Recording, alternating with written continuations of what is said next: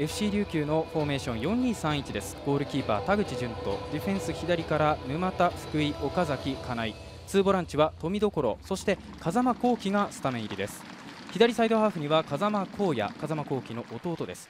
そしてトップ下には池田蓮。右サイド武田秀俊。ワントップは赤峰が今季初スタメンということです。愛媛 FC フォーメーション3421ゴールキーパーは岡本。ディフェンス左から茂木栗山大谷。ツーボランチは川村田中。左サイドハーフに内田。右サイドハーフには高木。そしてシャドウに小原。スタメンに名を連ねています。そしてコンビを組むのが近藤。ワントップは藤本良樹です。藤本。まだ上がっていく。サポートつけて中人数揃ってきたいいところに出る。高木切り返してシュート!まずは1本シュートを放ってきました。まずはハーフウェイラインから小原の抜け出しからの起点になりましたね。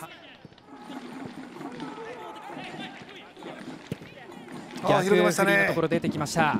高木先ほどはシュートもありました。カットインでまだ行く。川村藤本のシュートは枠を外れています。いや今のシーンを広げてからのドリブル突破も良かったですし、はい、そのワンツーのところのこぼれ球に対して藤本がしっかり狙っていましたからね。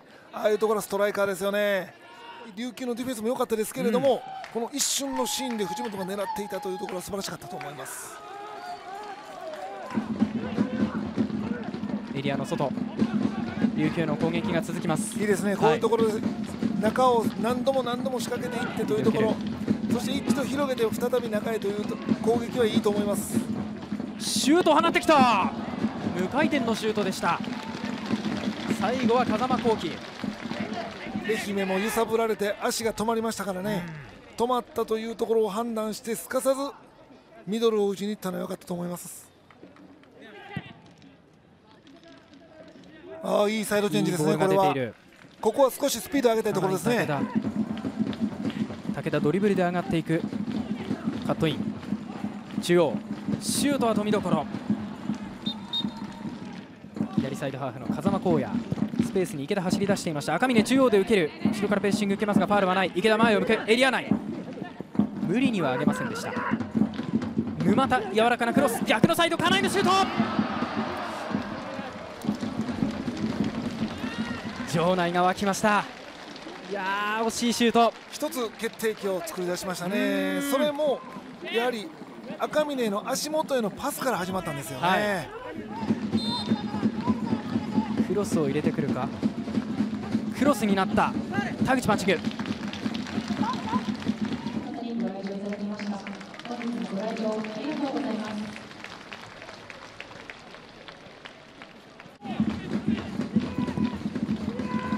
ふわりとしたボール。阿部。茂木の素晴らしいプレプレーがありました。そして前を向いた山瀬縦へのボール。藤本推進力がある。福井を抜き去る。中山瀬がいる。山瀬へのシュートどうか決まった山瀬浩二。22年連続。沖縄に駆けつけた愛媛 FC のファンの前でメモリアルなゴールを決めてみせました。山瀬浩二やってくれました。まあなんといってもね山瀬からセンターへの藤本へのパスから始まりましたよね、はい、このパスの質も良かったですし藤本がこのままね受けてこで山瀬から藤本ですね。自分たちで左側を攻めるんですよね、はい、この時に一瞬触られたんですけど振り切るだけのスピードはあったそして冷静にセンターを見てフリーの山瀬というところですね。これ本当に決めるのも簡単ではないですけれどもね。よく隅っこに流し込みましたね。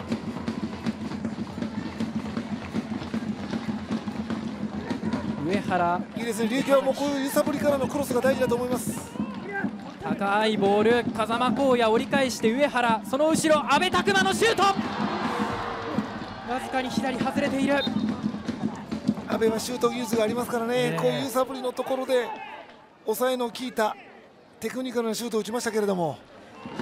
自陣には田口ゴールキーパーのみ。そしてここで試合終了のホイッスル。愛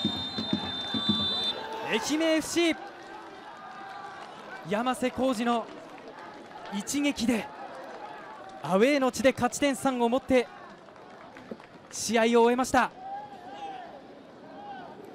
最後まで気の抜けない展開でしたけれども琉球の波状攻撃を防ぎきった愛媛が勝ち点3を奪いました。